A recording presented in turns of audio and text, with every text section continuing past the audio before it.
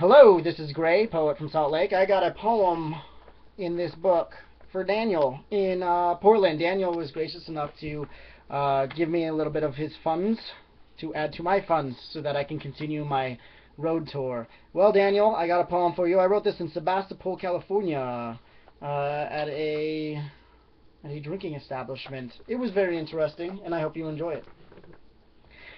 We have sat here in our seats, while an entire family began and finished their meals, while the man at the bar became lewd and lascivious in a manner too crude for this page, but which may or may not have included his attempts to pay his tab by banging his genitals on the bar. Luckily, it was rhythmic and complemented by the jam band soundtrack by which the other bar lay members who stood and began to waltz, and while we sat here, I gazed at the betta fish in the fish tank swimming and swimming, and the floorboards remained floorboards, yet for a moment, while feet stepped heavily and drunk on top of them, the floorboards briefly thought themselves a ballroom in the 1920s constructed on top of springs, where both tentative and presumptuous potential lovers forgot their feet and got nervous within the eyes of each other. For a moment the floorboards confused themselves with love, for a moment they were love, and we sat here admiring how love could be so solid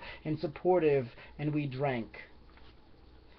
So there you go, Daniel. I really appreciate your support. I really had fun writing that piece, and I hope you are having a wonderful day. Have a good one. Bye bye.